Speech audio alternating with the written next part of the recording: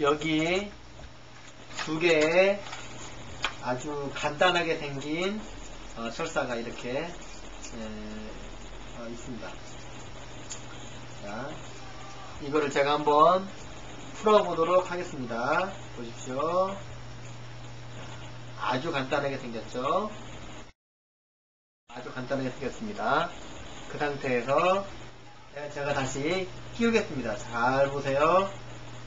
끼워서 이걸 한번 주고 풀어보세요.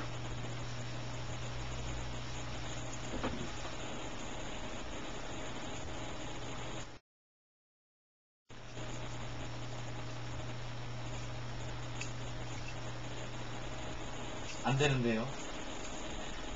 자, 그러면 제가 한번 해보도록 하겠습니다. 보십시오. 아주